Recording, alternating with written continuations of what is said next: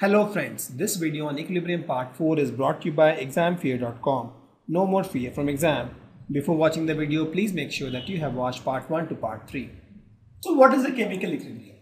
Chemical equilibrium by definition is nothing but a state in which both reactants and products are present. But they don't react. I mean, they don't change, the, the concentration don't change with time. For example, I'll tell you Let's suppose you take some A and B as the reactant. It should give C and D. Correct? So let's suppose you took some 10 moles of A and 10 moles of B at T is equal to 0. Correct? So now let me write it here.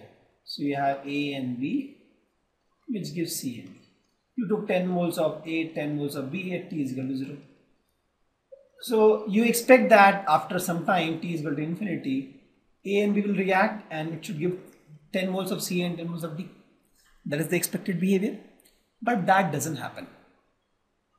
So what we have seen is, so we have started with, in this we are taking only A or B because if you take both A and B you have to draw two lines. So let's suppose we took A here and we took C here.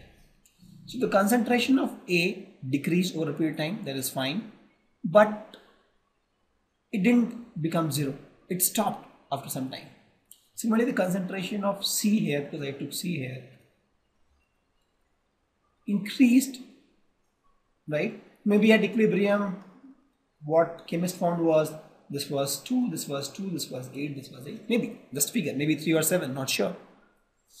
So the question is why these molecules didn't react form this this is why because we have the reaction going in the backward direction also.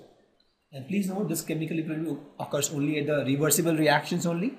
Because once I have reached this position now 2 and 8 I'm assuming that this is a place where uh, I'm getting this equilibrium 2 and 8 so after this the backward reaction is also happening. The backward reaction is also happening. C and D is combining to form A and B. Similarly, A and B is also combining to form C and D and both the reaction are at the same rate and that's what we call equilibrium. So we had A and B some 10 moles each. We, we reacted those A and B. We expected all the moles of A and B will be consumed to give me C and D but we found that uh, the reaction incomplete. I mean we have still may have A and B 2 moles each but uh, the reaction is not going forward. It stopped so the chemist uh, did all the research and found that in this case what happened is, and this happened only for uh, some of the re reversible reactions. For example, you have let's say hydrochloric acid and you put in water, it will break into H plus and minus ion. It will break completely. It will break completely. There won't be any um, equilibrium here because there is no reversible reaction. We'll, we'll talk about those things later. Just understand that this happens only for the reversible reactions and we'll talk more about these later. So at this stage, at the equilibrium stage, uh, the forward reaction and the backward reaction both are happening at the same rate, same time. And that's why it's at this stage. Correct. So as I told, equilibrium happens only for the reversible reactions. Let's take some of the reversible reaction. You can uh, note this down. The very good reactions. For example, you have uh, rusting of iron. You have H2 plus I2 gives HI. N2O4 breaks, uh, breaks into NO2 we have uh, N2 plus 3H2 becomes ammonia, is also reversible reaction. We have PCl5, phosphorus pentachloride, it breaks into PCl3 and Cl2. You have NH4Cl, it breaks into NH4Cl minus. You have N2 plus O2 gives NO2NO. You have this reaction, CS3CONA, it becomes CS3CO minus and N plus. You have CS3COH, a very weak acid, it becomes H plus and CS3CO minus. NaCl also uh, gives a reversible reaction and equals Cl minus ions and AgCl also gives a reversible reaction. Some of the reversible reaction we have tons of reversible reaction chemistries. So you, you for to start with you can uh, know only few of them. So as I told equilibrium exists, I have let's suppose I had A plus B, it was equilibrium with C and D, and I had started with 0, 0, 10, 10 moles of A and B, and I ended up getting 2 and 2 and 8 let's suppose of this. the question is why I didn't react completely. And I told that the forward reaction, the backward reaction, both took place and it kind of balanced. So to understand this, what you can do is you can take two beaker of water, uh, two beaker, one water, one without water. Take almost 30% of this. You have this uh, water uh, pipe. Put the pipe, close the lid, uh, close this end with the hand, and take this pipe and put it here. You'll find some water here now. Again, again, put the same pipe here, and take this pipe to this one. So if you see in this case, let's suppose first movement, let's suppose if this was let's suppose 50 ml and I'm assuming that this guy what it does is it takes 10% of whatever available in the system right so I had 50 ml I started 50 ml and this went here 10% of 50 ml is 45 so 10% of 50 ml is 5 so I got 5 ml here right now so I have now here instead of 50 I have 45 ml. Correct. Now from this I'll take water and put it here. So from this 10% is how much? I'll just put this pipe again here like this. I'm sorry it is not clear. So 10% is 0.5. So in this run 0.5 will go. Right. So this will become 4.5 ml and this will become 45.5 ml. Correct this will become 45.5 ml.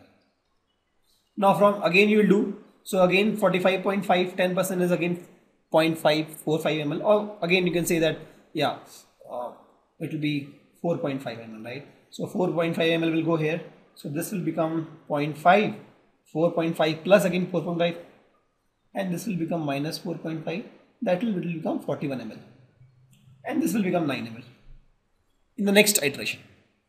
Again you will take from here. So from 9 ml you will take 10 percent. This is almost 1 ml so 1 ml will go here. So this becomes 9 minus 1 this is 8 ml and this one will become plus 1 this will be 42 ml so now I have 42 ml here and 8 ml here